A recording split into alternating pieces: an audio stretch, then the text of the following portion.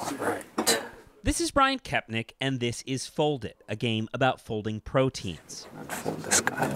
About a month ago, researchers from UW's Institute for Protein Design tasked players with finding a crowdsourced solution to the coronavirus. Since then, we've moved into a new normal of social distancing and shutdowns. But Foldit has been busy. We've run a few different puzzles in Foldit where Foldit players design new proteins that might be antiviral drugs against coronavirus. Players have been working up structures that might bind to the outside of the coronavirus, deactivating it in the body. It's not a vaccine, but would be a big step forward in preventing and reducing infections. Now, the 99 best designs head into the lab for testing. We'll mix in a test tube the, the target spike and the folded player antiviral design and test to see if those two stick together.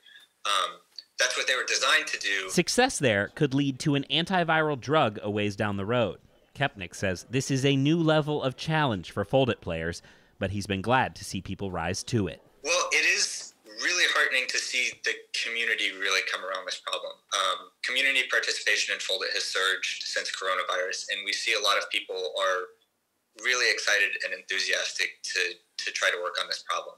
Um, so that's that's been really great to see that that people are um, kind of invigorated by by the challenge. Michael Crowe, King 5 News.